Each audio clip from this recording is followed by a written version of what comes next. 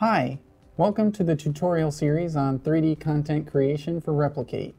My name is David Mullen and I'm a technical artist here at DISTI and I'll be going into some detail on some of the best practices that we utilize here and hopefully helping you get started and creating some of the same high quality content for your training purposes.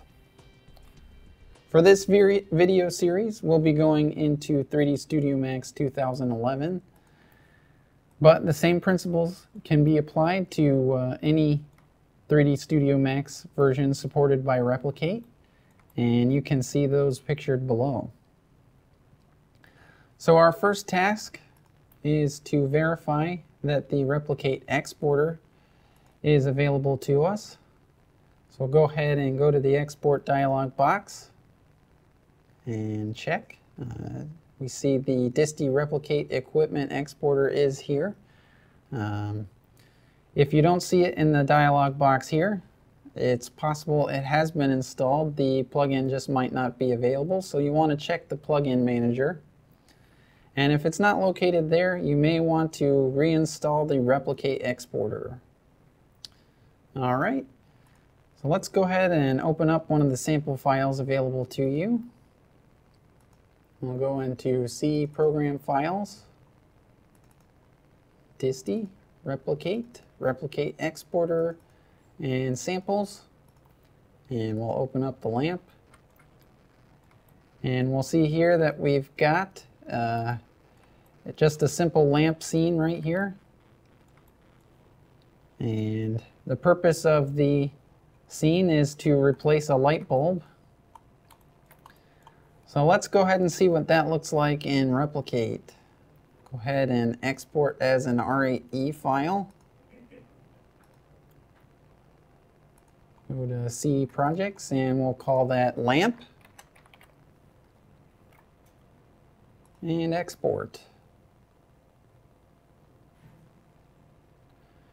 We see that the export is completed successfully. Now you can import the RAE file directly into the Replic8 editor, uh, but for our purposes, developing 3D content, uh, we'll want to utilize the Replic8 Equipment Previewer as we're only interested in some of the look development uh, of our models and animations. So we'll go ahead and open this up. We'll be utilizing this throughout the tutorial series, so we should get familiar with it.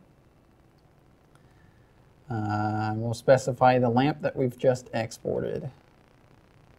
All right, we're faced with, a two, with two options here.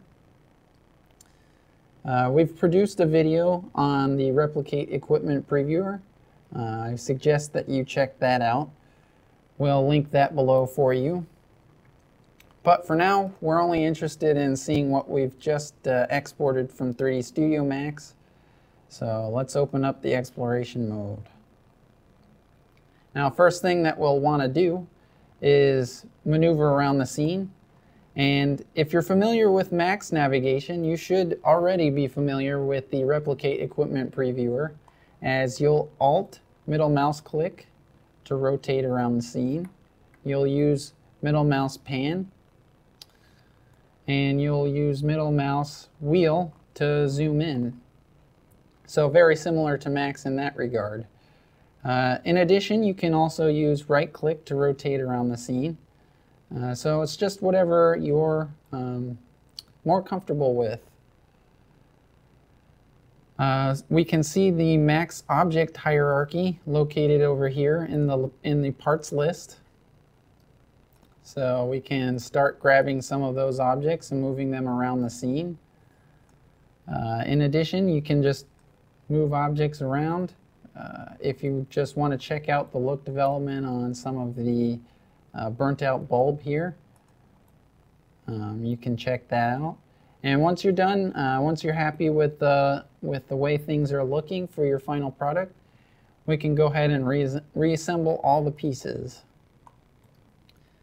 You'll want to get into the habit of utilizing this Replic8 Equipment Previewer as uh, Replic8 does resemble as closely as possible the output from 3D Studio Max.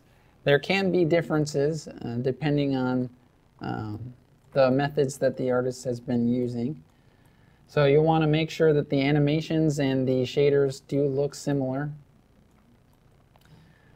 So that's about it for this video. Uh, we'll be going into some of the object classes that are supported um, in Replic8 Uh, during our next video. So I hope to see you there.